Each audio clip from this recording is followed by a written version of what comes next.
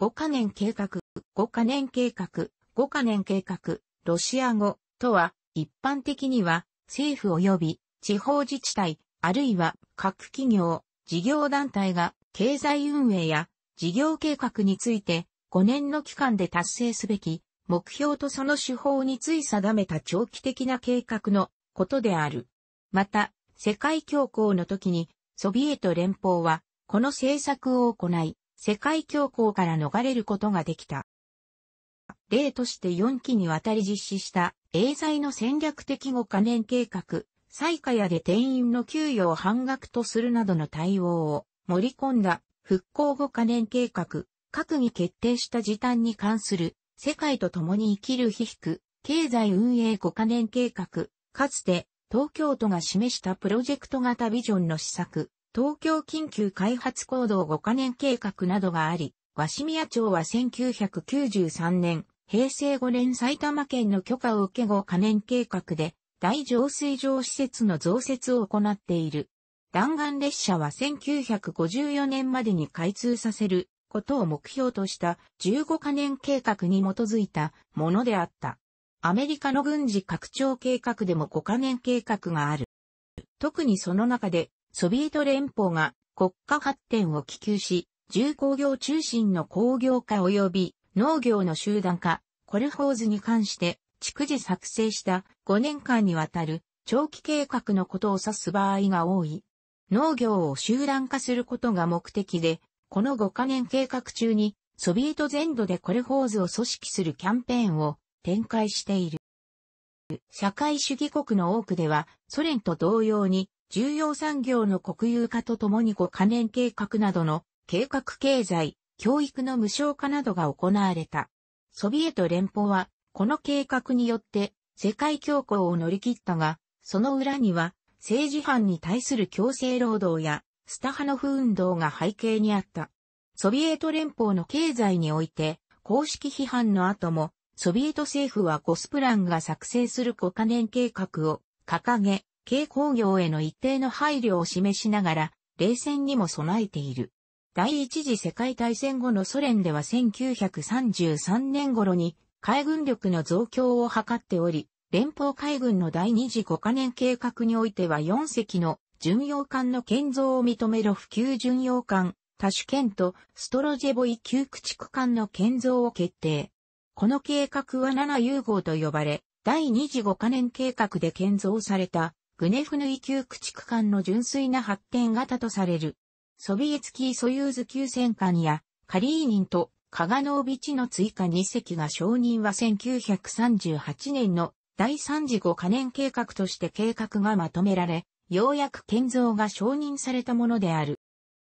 ウドムルトジチソビエト社会主義共和国は5カ年計画の下で工業国化され、ウラル工科大学は5カ年計画から理工系リートの要請がされていた時代に、高等教育機関としてソビエト経済の重工業中心とした発展において期待されてゆく。マグニトゴルスクも5カ年計画によって急速に発展した都市であり、スターリングラード攻防戦で知られるスターリングラード市は5カ年計画で重点的にデル都市として整備された結果、指売りの製鉄工場である赤い10月製鉄工場、大砲を製造していたバリカドイ、バリケード兵器工場、さらにスターリングラードトラクター工場、別名ジェルジンスキー工場など、ソ連にとって国家的に重要な大工場が存在する有数の工業都市として知られた。虹にタギルも1931年からの第二次後、可燃計画が始まると次々に投資がなされた。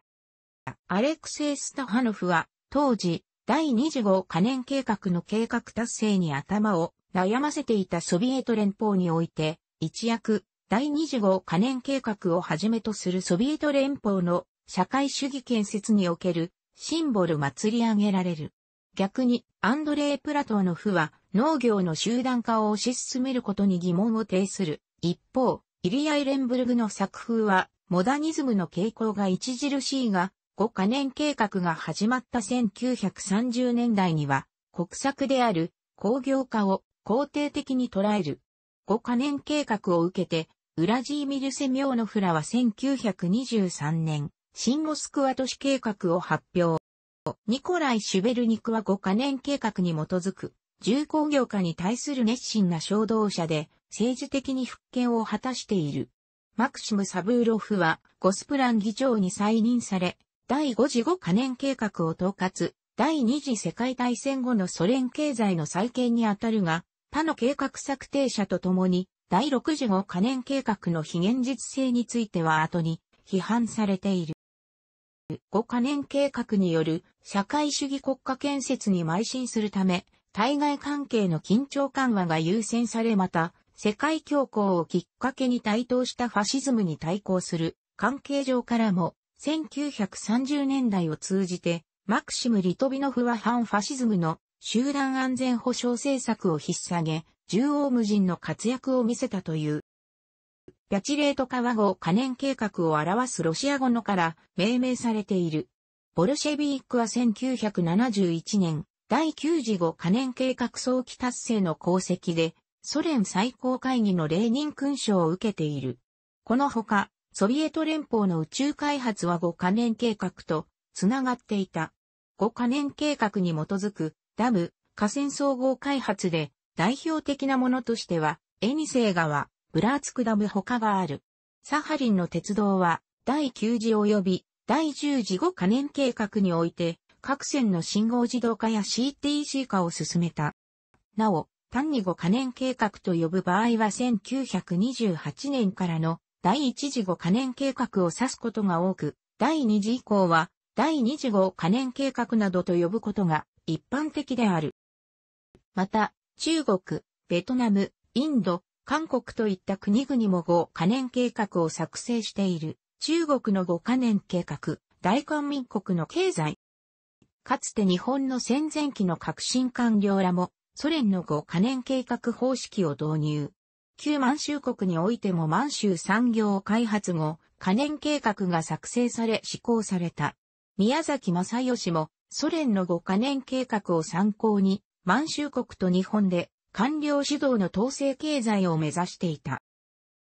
戦後の日本も、鳩山一郎内閣の経済自立後可燃計画から宮沢喜一内閣の生活大国後可燃計画まで5可燃計画と題された経済計画が作られた。中曽根康弘内閣では経済計画を定性的にすべきとして展望と指針に言い換えられた時期もあった。また、各省庁単位でも法、例、道路整備緊急措置法に基づき策定さた後、可燃計画に沿って事業が行われた。中国でも近年では、計画が、ただしがという言葉に言い換えられている。近代から現代にかけての世界の一体化において、ナチス下のドイツでは4可燃計画が、その他の国においても5可燃計画で、開発独裁を、ネパールの経済やまた重大建設現在では、学術的、文化発展も視野に入れた新重大建設を5カ年計画で打ち立てた。パキスタンの歴史においてもイギリス王冠から独立し、経済の方で5カ年計画が作られ、高度経済成長が始まった。ブータンにおいても1960年代から進んだ、ブータン国の開発、研究、第1から2次5カ年計画により、幸福こそ、人の、そして国家の究極の目標としていた。ハンガリーのドゥナウーイバーロッシュは、ハンガリー人民労働者党中央委員会によって1949年に鉄鋼コンビナートで重工業に従事する労働者のための住宅を建設することを決められ、1950年代に後、可燃計画で都市建設が始まった。アルメニアのエレバン放送では5可燃計画に対するジョークもある。トルコも経済面では世界恐慌後にスターリンの巨額の融資と経済顧問団派遣を受け、ムスタファ・ケマル・アタチュルクの下で1934年から5カ年計画を導入する。スロベニアの歴史において1946年以降、5カ年計画が実施されることとなり、スロベニアでは重工業への転換を行いながら生産数を3倍にすることが期待されたため、すべての主な銀行、工場、運輸、流通、商業、貿易が国有化、地方の小規模商店は、共同組合の一部として組み込まれるなどすべての面での国有化が進んだ。ジャワハルラール・ネルも経済開発政策を打ち出し、その後も5年ごとに5カ年計画が発表された。ネルーは企業の私有は認めていた。ジャンイコールルイ・ボルローも住宅、雇用の保障を3つの柱とする社会統合のための5カ年計画を発表。ハーリド・ビン・アブドゥル・アジーズは顕著な業績として第2次5カ年計画によってサウジアラビアのインフラストラクチャーを整備。日本は2009年から2014年のアルジェリア5カ年計画に関与しインフラ整備をはじめとする2860億ドルの投資を行っており、在アルジェリア日本人箱プロジェクトに関係している。